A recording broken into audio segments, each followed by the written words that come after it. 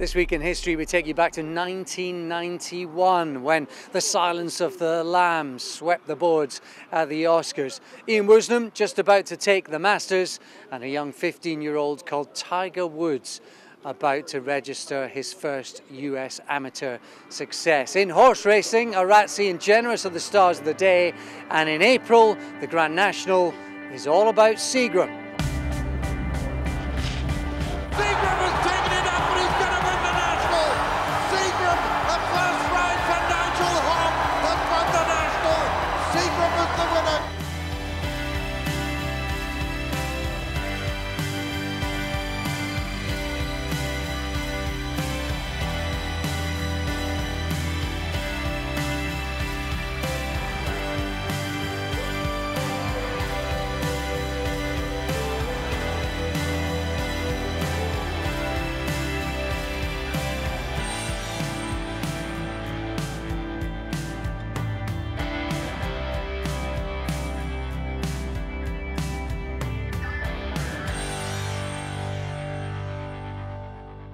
1991 Grand National was sponsored by Seagram and it featured a little horse called Seagram up against a stellar lineup, including the previous year's record breaking winner, Mr. Frisk, the dual runner up, Durham Edition, the future Whitbread winner, Docklands Express, and the dual Welsh National winner and fancy Bonanza Boy. And then there was Seagram. We've come down to the West Country to speak to the people who knew the horse best. His jockey Nigel Hawke, former jockey and assistant trainer Paul Nicholls, and perhaps the man who knew him best, his groom, stable lad Graham Piper. But this is a story that didn't start at David Barons' West Country yard. No, it's a story that began in New Zealand. The New Zealand project was a good project. It was David's idea um, the horses were a lot cheaper in New Zealand, and it was just as cheap to fly them, to buy them in New Zealand and fly them over. So um, he, he started off with a few, and it, it, it, took off. They were all, they weren't, they were very slow horses. They used to win all their bumpers, and then uh, they're, um, they weren't brilliant over hurdles, but then they went chasing, and they came to their own. Then that's when they were at their best. Yeah, so uh, it was quite good because we used to go to Manchester Airport uh, and there'd be 24, 26 horses come over in a plane and we should drive it onto the runway, the plane would land, we'd watch it circle round and you'd get your cows, your sheep, event horses and then we used to get the New Zealand horses used to come out then in uh, crates of three. And we put them onto the box and then a long old drive back to Devon again, which is five or six hours straight back to the field, let them out in the field, and they used to lie down for two days. And uh, we just used to leave them, they'd lie down, and then they'd get, after a couple of days, we'd go around, sort them all out, we'd bring them all in. They were all broken in already, like, you know, so um, they're easy, quite easy to handle. And uh, they all used to get gelded, then back out into the field again, and then he'd bring them in, and then we all stood there looking out over the stable, and the boss used to say to us, "Take your pick. Which one do you want?" Well, funny enough, Seagram wasn't a particularly big horse, and I think um, Hugh Davis may have started riding him his first couple of rides. He used to share the rides at the Barons with me, and then I ended up getting to ride Seagram a few times, and he, he won quite a few novice hurdles. And I can remember winning, winning a really good handicap hurdle with him one day at Sandown, and then be absolutely bolted in wasn't particularly big, but oh my god, he was strong and he used to jump very well. And then he went chasing, and I actually can remember one of the worst falls I ever had on a horse uh, on him one day at Wolverhampton. Uh, he was just a bit too brave over fences to start with, but eventually he came good. And you know, I think I won probably five races on it one time. Um, we had a really good relationship, good jumper. Um, and as is well publicised, I broke my leg in 1989 and actually had a year on the sidelines, which Nigel Hawke took over riding him. I, I retired from racing um, race riding because you know the injury and my weight and one thing and other. And so Nigel was then riding Seagram. Early memories when I started at David's. I mean, he was a good hurdler. He won one, two, nine races. I think he won at Sandown, but not on the record. But you know, he was he was a decent horse. Um, he certainly wasn't the biggest in the world, a bit like Tiger Robe, between the two, but he was built like a little tank. Um, a mouth, he had no mouth. He was a difficult ride. Uh, used to pull like a train, and to be fair, I think it was either myself or Andy Hobbs rode him most of the time because he, he just wasn't an easy ride at all. Mainly because he was low tank, very very keen all the time. First couple of seasons were good. I mean, I think I looked after him for oh just over two years, and I think he was out the first four twice maybe. I remember the first time I took him racing was at Chepstow, and he ran the Mercedes Benz which was the first race of the season on the on BBC. He ran in that, and he won that. And then he went to Ascot, and he won there as well. He won a short head there. And they ran him in the Hennessy, I think, and he didn't run so good in the Hennessy.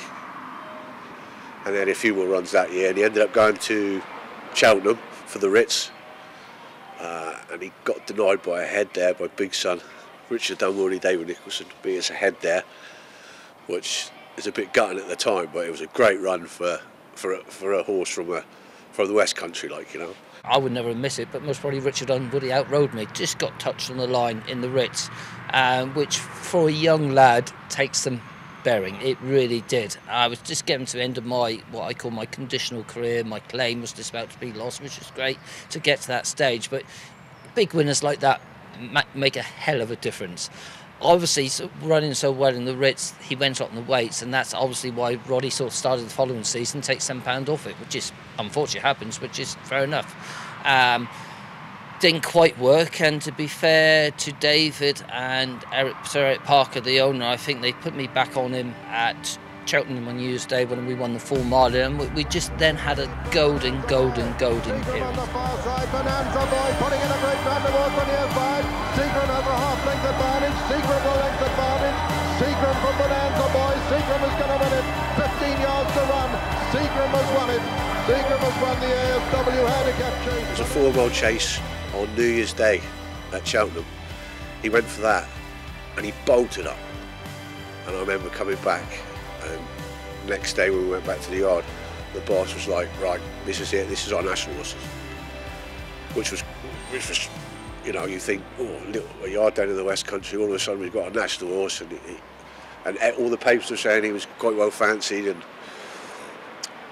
and, uh, and then we went to the festival, and he won there. He beat Carvilla Howe, he won the Ritz, and that nearly put him favourite for the national, I think and it, all, it was all happening as you know you wouldn't think a little yard down in the West Country, miles away from anywhere, would have such a you know opportunity to win a big race like that. And not even even myself and Nigel, it was just like it was just all happening really quick, like you know. Racing to the final fence now.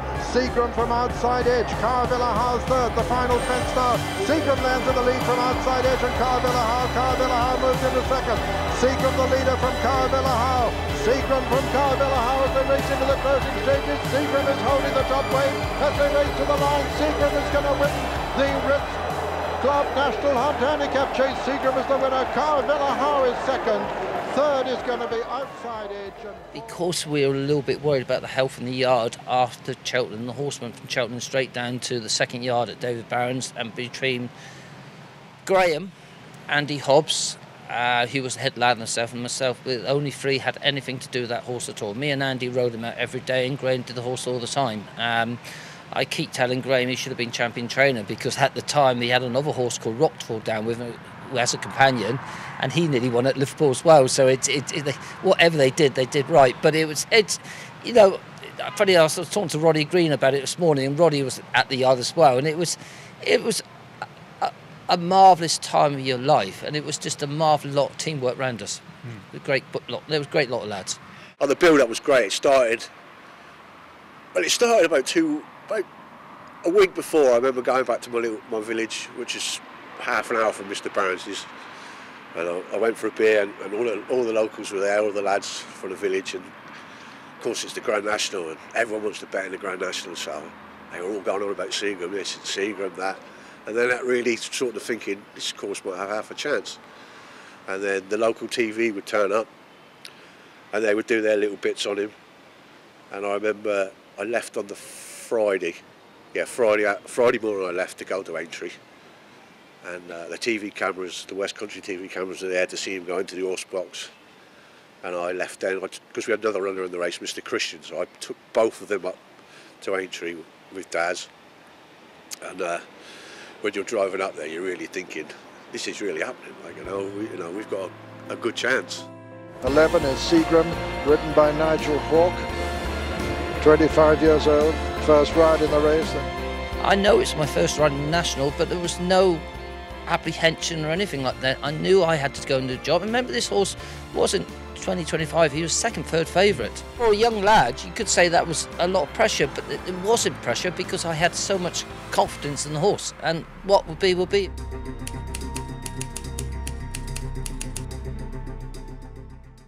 Back then, you still had to jump round, and I just basically thought the old story go hunting for the first circuit, which exactly that I did.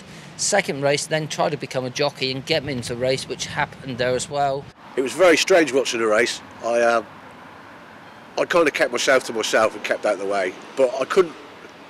He was only a little horse. He was only 16 hands. He was tiny, and you couldn't really see him with with all the 40 runners. Like you know, he was stuck in the middle of them all, and you couldn't really see him. And then they, I remember I was stood not far off of the water jump, and I see him jump the water jump, and he's like middle, middle to back, I suppose, when he jumped the water jump. And I thought, well, at least he's still there. Nigel's still on him, so we're halfway there anyway. they went out on the second circuit, and I think it was the, the the ditch where he first got. They started to string out a bit, and he wasn't a fast horse, so they went really quick in the first circuit. And when they slowed the pace up on the second circuit, he could, he got he was into his rhythm, and uh, he started to pass a few horses, and then they started to slow down in front of him. And I think he was mentioned jumping the ditch on the second circuit. And that's when I kind of started watching it then, and I could see him just on the outside of everyone, and he was just he was just jumping for fun, and Nigel got into a great rhythm, and I remember him jumping Becher's and thought, well, that's another one out of the way, and then it was it, it was like, oh, he's not, he's going to run well, he's going to finish fourth, fourth or fifth, and he's run a blind, he's going to get touch what he's going to get round, and then I remember looking up the straight, and they turned in and I looked at the screen as well, and Garrison Savannah has kicked on.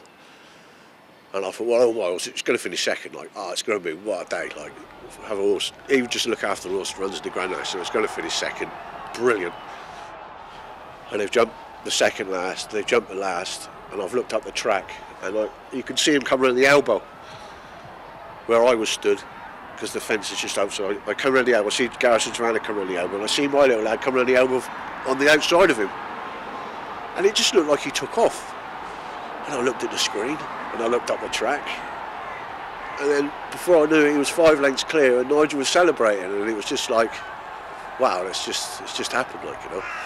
And uh, what made it even better was I used to share a house with Nigel, so of build-up was um, was great all the way up to the national, like you know. So when he went past the line, it was just like it was unbelievable for all of us because I think Nigel was still claiming at the time.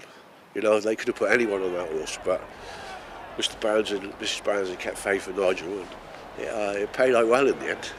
Well, I always remember watching it um, as the horse went out in Seagram went out into the second circuit, thinking really he could he, he's travelling really well. You're only watching your own horse, very much like when I was watching Neptune Collonges. You're watching your own horse, and I can remember Seagram was just picking them off, and Nigel was giving him quite a cool ride, and you you had that belief. Oh my God, I think he could win. He actually could win, and as the race went on and further and further, you got more and more belief. And of course, when he, he went by the winning post in front, it's, it's just it's something you'll never forget. Really, it was an amazing feeling, and it was good for the team down in Devon. And I can remember then we all started partying that night at the local pub. Seagram came back the next morning in the normal parade, and when the other went on, it was just a surreal experience. And really, that was then one of the things that you know I've been heavily involved in the training of him sort of got me kick-started in the training myself and I, a few months afterwards left and came back to Ditcheat and start training myself so really Seagram had a big part of my life and a big part of getting me hooked on training and, and, and watching how things went with the racing well, everybody takes the mickey at me because they reckon I did about 20 yards too soon, but uh, the race was won by them, wasn't it? So, it's, yeah, it's a great feeling. Um, yeah, it was. It's you never do it again. And I remember after the race, silly little thing, I locked myself in the loo for five, ten minutes, only for a simple reason everybody and anybody becomes your friend. You've got the press, you've got the whole world there.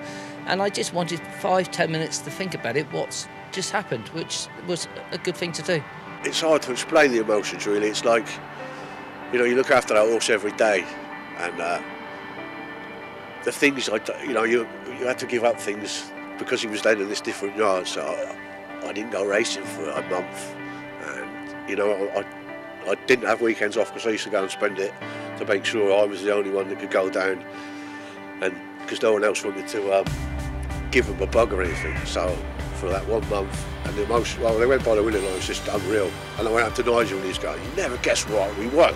and I was like, "We did," and uh, it was great. Like even after the race, when I took him back to the to the dog testing box. Um, I was washing him off and leading him around. And fair play to Jenny Pitman.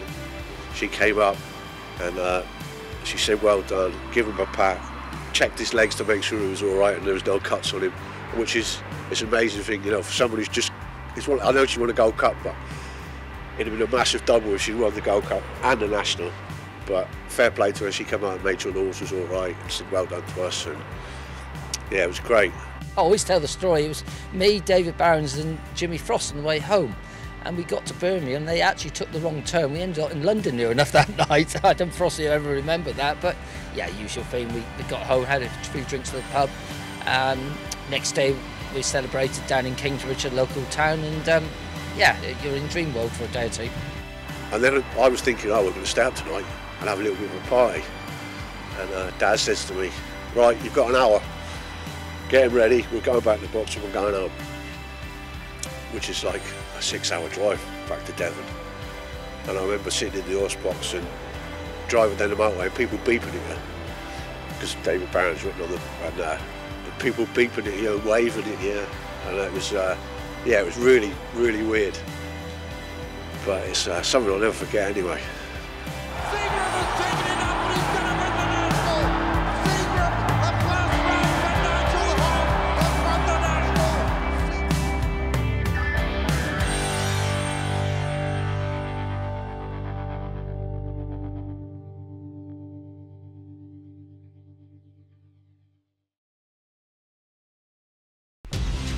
Live racing now on racingtv.com.